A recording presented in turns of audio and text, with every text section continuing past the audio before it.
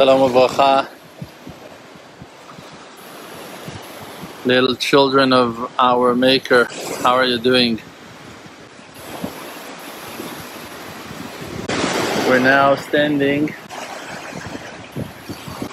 in front of the great, great Mediterranean Sea, the large ocean.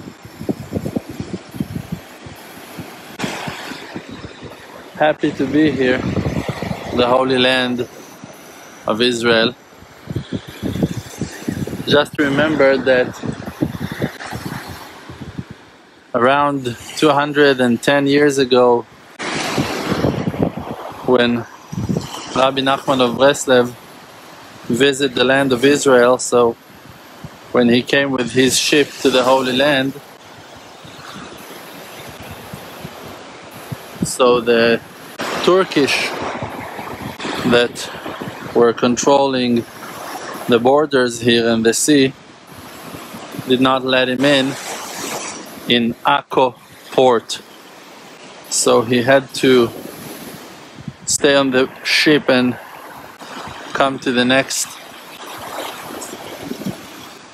stop and it was now when I'm thinking about it it was exactly in this area maybe even just here. Maybe the ancient and old port was here and why am I saying that? And over here was the place that he came down off the off the ship of the boat to the Holy Land of Israel and achieved great things. And why am I saying that it might be here? Because over there you can see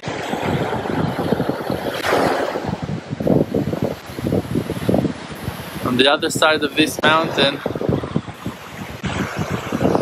is the cave that Elijah the prophet was praying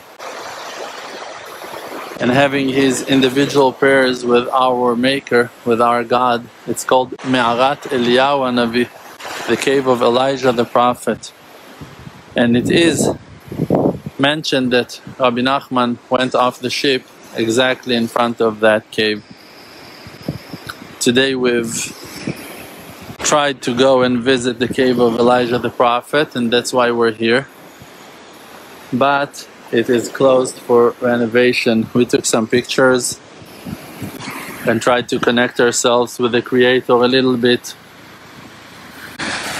from outside. Hopefully soon it will be reopened for the public.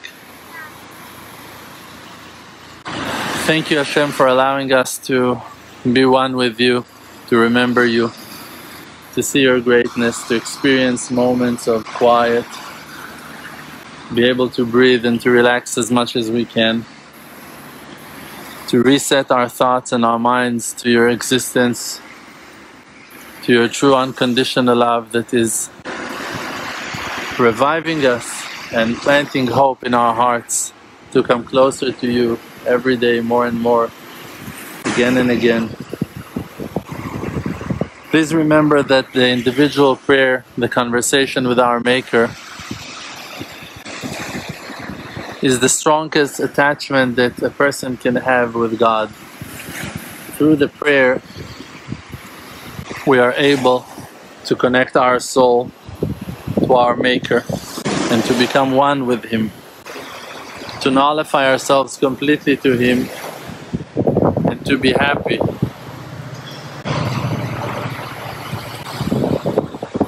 To be happy to be His creations.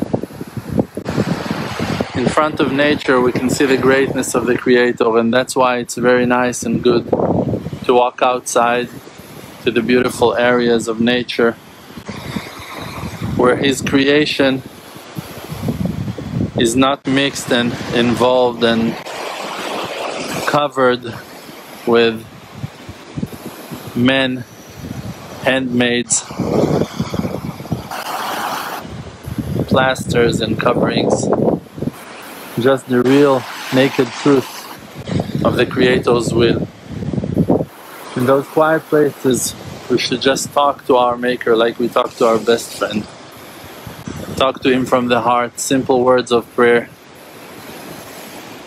If you find it hard, you can always search on YouTube or in our emunah.com website. You can write Rav Dror prayer and immediately, or Rav Dror Hitbodedut, Rav Dror individual prayer, and immediately you'll find more videos that will explain and will give nice examples on how to talk to our Maker in simplicity.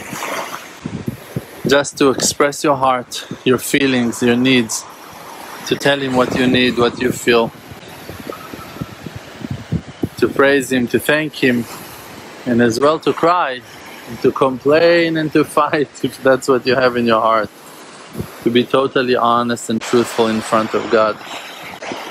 And may He answer to all our prayers and requests and will be answered and redeemed in our days. Amen.